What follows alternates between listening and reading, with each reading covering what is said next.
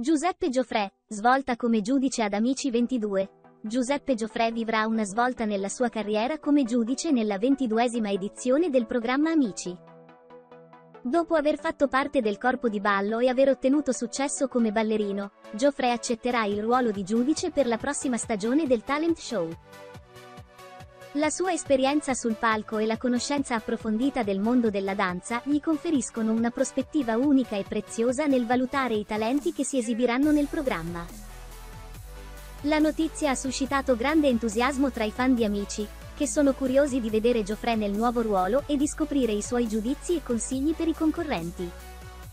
La partecipazione di Geoffrey come giudice porterà un nuovo dinamismo e una prospettiva diversa alla competizione.